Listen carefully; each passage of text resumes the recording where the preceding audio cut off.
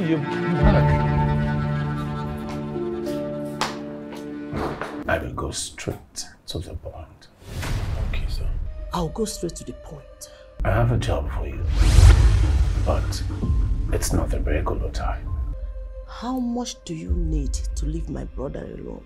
See, sir, I, I can I, I can do any job, any job, as long as it's going to pay me money and help me sustain myself. Are you sure? Ah, ah, yes, sir. Yes. Yes, sir. Fair enough. It's a simple job, but technical, not conventional.